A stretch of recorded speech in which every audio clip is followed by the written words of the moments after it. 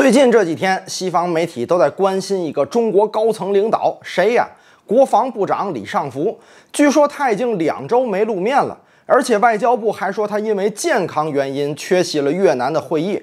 这种机会，外媒肯定是全部扑上来呀，各种说法都有了。但是西方媒体的尿性是一点证据都没有的情况下，就各种胡说八道，通篇都是据传、可能、据称、估计。现在西方媒体已经彻底呆弯化了，新闻专业太业余了啊！傻子都能按照据传写出一篇新闻来，嗨，咱也不用在意，让他们猜去吧。反正我要想知道点老 GB 拜登带照片的内幕，我直接搜索亨特的笔记本电脑，什么都有了。哼，这就是差距啊！至于李尚福最近在忙什么大事儿，咱不清楚。不过最近在中国的黄海、东海，确实是发生了非常大的事情。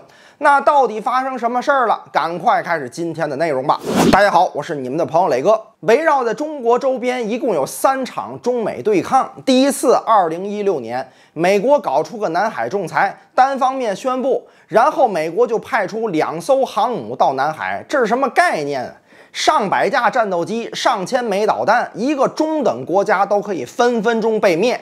当时美国太平洋司令叫哈里斯，他说要跟中国开战。如果非法的南海仲裁生效了，那中国的南海就丢了。面对美国的蹬鼻子上脸，当时解放军的三大舰队是齐聚南海，准备跟老美干。结果老美在关键时刻调准船头，直接就跑路了。老美是万万没想到啊，中国人能如此的坚决。这就是二零一六年南海对峙。第二次就是去年佩洛西窜访台湾了。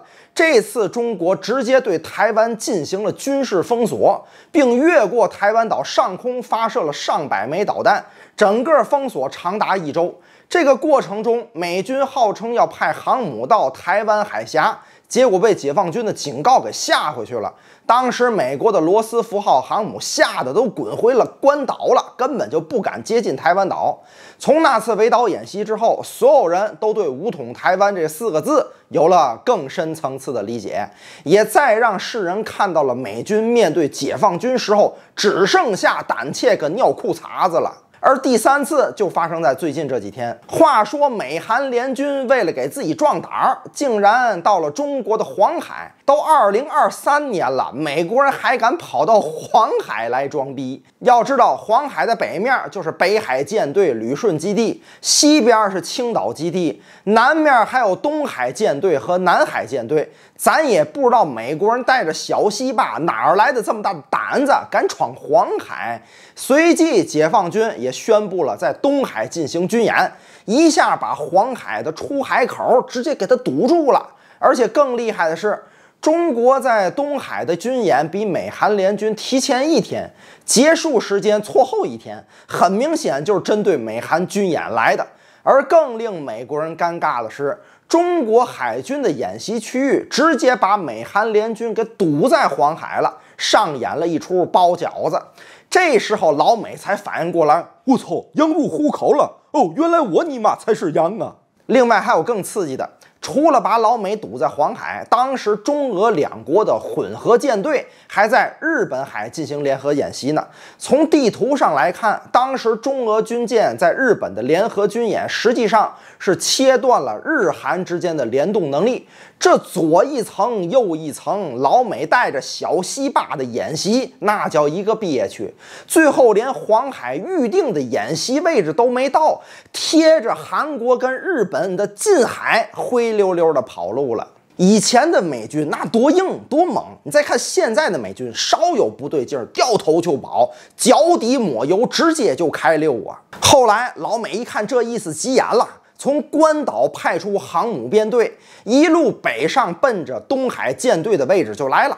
老美这招可厉害了，属于是围点打圆了。但是解放军的操作它是更溜啊，直接派出山东号航母编队南下，奔着美军的关岛基地老巢就去了。好家伙，这操作属于是套老美的狗窝呀！你美军的航母来中国附近，我们直接围攻，不但围攻，还让航母编队直捣黄龙。当时这波操作给老美直接就打懵逼了。你来东海，我直接奔着第二岛链去，而且山东舰还不是随便玩玩。当时有四十多架战机护航，从战斗机到无人机再到预警机都带齐了，这就明摆的告诉老美，这是实战化突破第一岛链。对于美韩黄海演习，先给你来个关门打狗。对于美军航母的驰援，我们不但有应对能力，还有能力直捣黄龙。这就明着告诉你了，我们面对美国不再是被动防守，而是主动出击。你来多少，我打多少。不但打你航母战斗群，还打你关岛基地。其实最近中国在战略上面对美国早就改变风格了，从过去的防守反击直接调整为了以攻代守。除了军事领域，其他也是一样的。华为的芯片突破以及 Mate 六零一系列的攻击力十足，羞辱度拉。满的营销策略也是明确的主动攻击。现在中美的关系早就变了，所以美国现在看到中国如此的强势反应，都是一脸懵逼，非常的不适应，所以才会方寸大乱。中国国防部长不接美国黑大个防长的电话，都让美国非常的紧张，就是这么个原因。因为美国现在对于中国的强势反应是完全不知道该怎么应对的。因为以前确实也没有出现过这种能力的国家呀。综上所述啊，美国现在应该认清现实，现在的中美关系一切形势早就改变了。同样是面对美军的航母编队，十年前中国是准备和美国拼命的，而现在咱们已经有实力直接关门打狗了。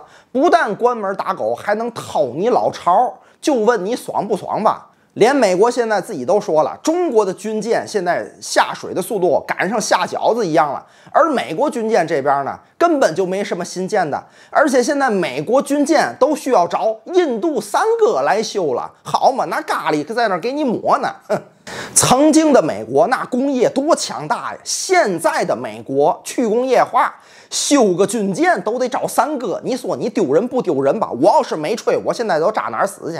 美国现在肯定不适应啊，但是时间长了，挨揍挨多了，自然也就适应了。不知道美吹直人、驴马烂子、蛋子儿们看到今天美军的样子会作何评价呢？生气是吧？自己找没人地儿撤自己嘴巴子去吧。哼，好了，今天就跟大家聊到这儿了，别忘给磊哥点个赞，感谢您的收看，咱们下期再见，拜拜。